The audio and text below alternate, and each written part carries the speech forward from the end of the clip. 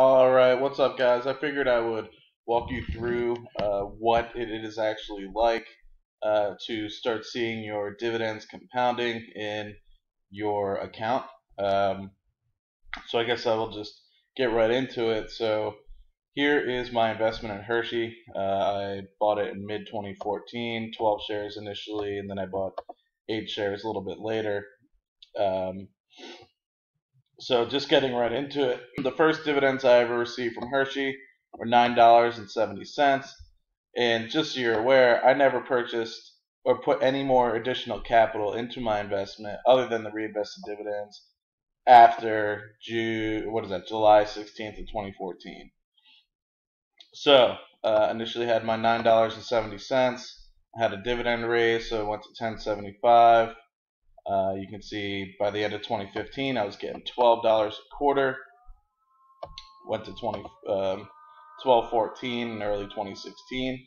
And the last time I got dividends, I got $13.11. So if you look at it that way, just on uh, from start to beginning, my dividends from Hershey have increased circa, you know, 35%. Um, including the actual uh, value of each invested single dividend. So you can see in December 2015, Hershey took a quite of a dip, went down to $86. And so this $12 uh, reinvestment of my dividends is now worth $15.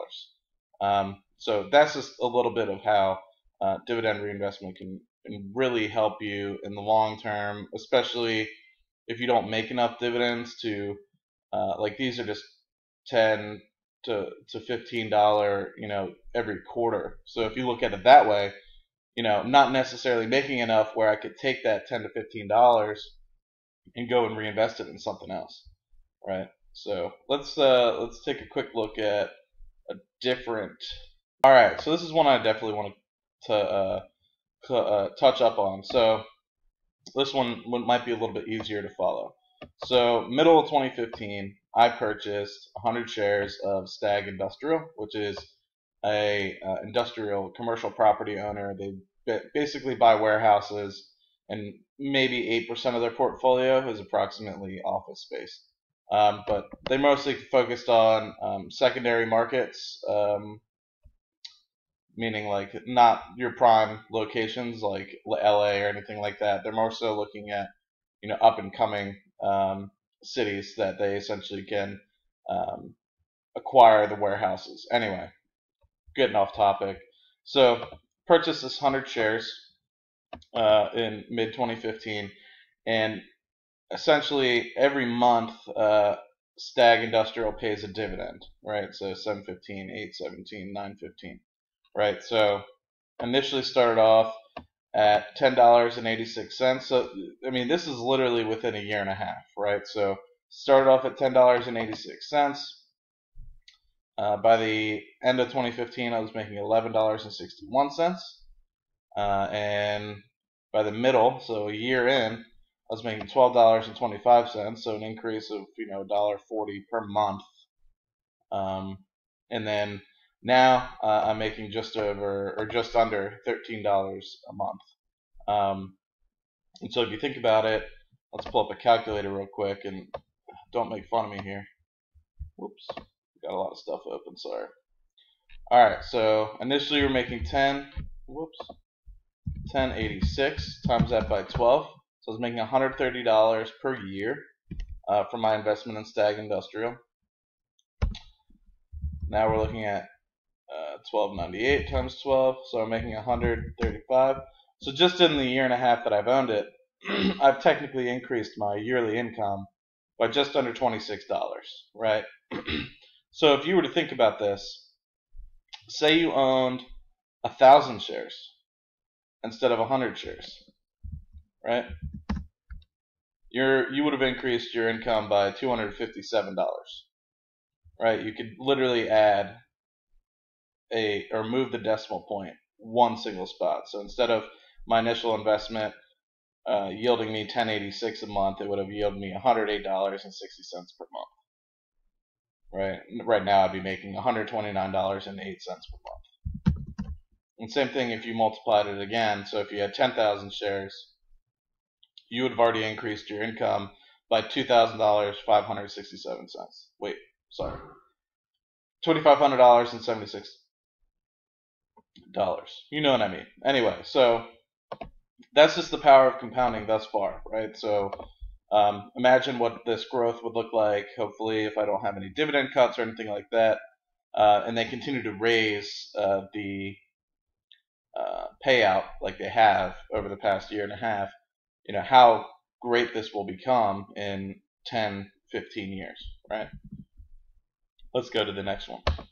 All right, so this is another example of a mortgage real estate investment trust, or some people call it MREIT, M-R-E-I-T.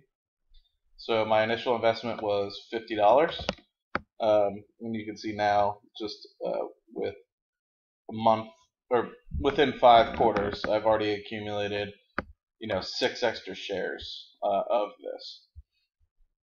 Um, so basically, what you can see is initially paid out um, 48 cents per quarter, um, and nothing's changed. I still believe it's 48 cents per quarter, but uh, due to essentially acquiring an additional share uh, per quarter, um, my dividend goes up by approximately 50 cents, 60 cents per quarter, right? So $24 and it went to, it added 60 cents uh, to get me 24.58. Uh, added another, you know, 62 cents to get me 25.20. Um, you know, and then just so on and so forth. Um, so that's an example of a quarterly increase. So just from there, 24 to 26, that's you know 10% increase just on something that hasn't increased the dividend or anything like that, uh, but just dividend reinvestment uh, as a whole. All right, here's another one that I want to show you guys. Uh, it's my initial investment in Main Street Capital, which is a business development company, um, actually stationed right where I live in Houston, Texas. Um, so initially invested 75 shares, um, which cost me about $2,500. Uh, and that yielded me $13.50 per month. And I have only done um, reinvestment. I've never added any additional capital. Um, and so you can see uh, just within the past six or seven months that I've owned it, um, my income has gone up, you know, almost a dollar a month, so almost twelve dollars um, over the past six months. Um, Main Street Capital pays out a special dividend um, every half year. Uh, at least they have. Uh, they pay out the extra capital that they have. Um, in this case, I think it was like 28 cents, um, as opposed to the regular 18 uh, cent per uh, per share per quarter um, or per month. I'm sorry, type dividend. Um, so that's just another story of you know something going up just within five six percent uh, over a six six month period, and that's without any dividend um, increases. Um, the only thing that has changed is just my um, share count as I continue to reinvest quarter after quarter, or month after month in this case. This one, um, this is maybe not the best success story, um, but it is something that I still believe we'll see the, the impact of reinvested dividends.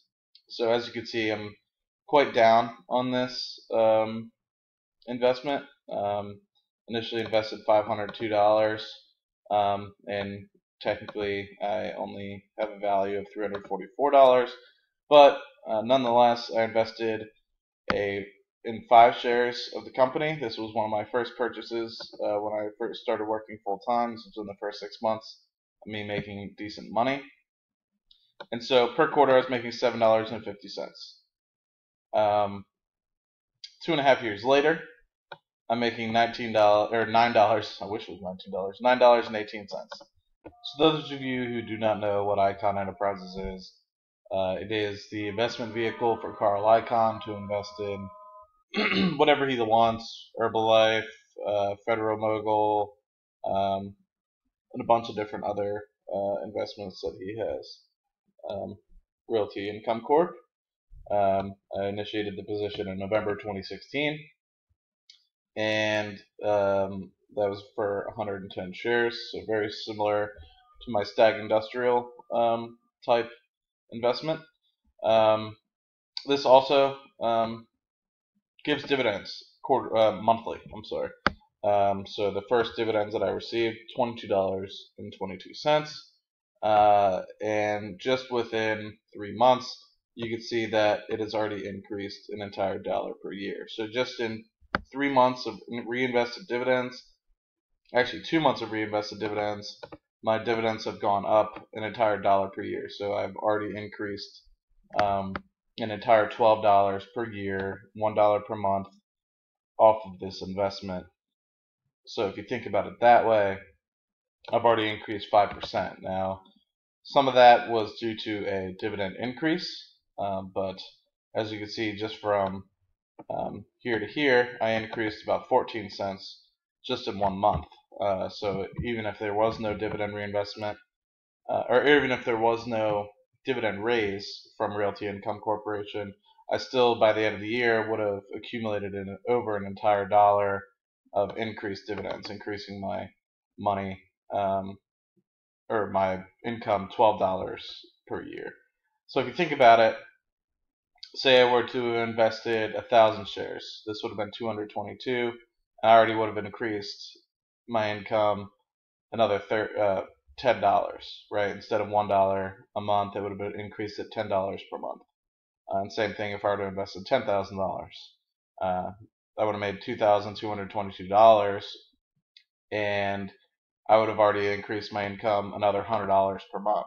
I mean, so if you look at it that way, it's you know, there's a reason why Albert Einstein said this is the eighth wonder of the world. Is you know, you you can exponentially grow your wealth very quickly. Um, all you just need to do is get the uh, initial investment in the capital.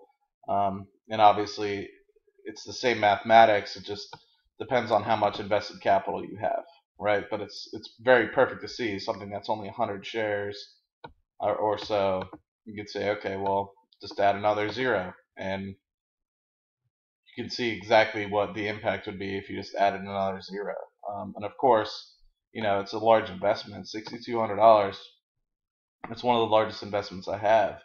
Uh, but if you think about it, if you had sixty thousand dollars, you'd be getting two hundred twenty-two dollars a month, um, and you would have already been getting two hundred thirty-three dollars a month. Um, I mean, that's you know, it's not it's not the best investment in the world, but it is something that's very safe. Realty Income Corporation has been providing dividends for over 20 years, of which they've increased the dividend 50 or so times. Um, and at almost like an exponential rate. Uh, it's definitely almost been about 10 ish percent. If you had invested in the early days, you would have gotten an annual return of about 19 to 20 percent. Um, so in that respect, very safe. Um, they operate triple net leases, so the tenants uh, occupy and pay for the property taxes. They pay for property management, and they pay for. I always forget what the third thing is, but um, basically Realty Income Corporation just has to own the actual building itself, but they're not liable for any damages or anything like that because that's going to be paid for by the tenant. So, um, okay, well, I think I'm going to end the video here.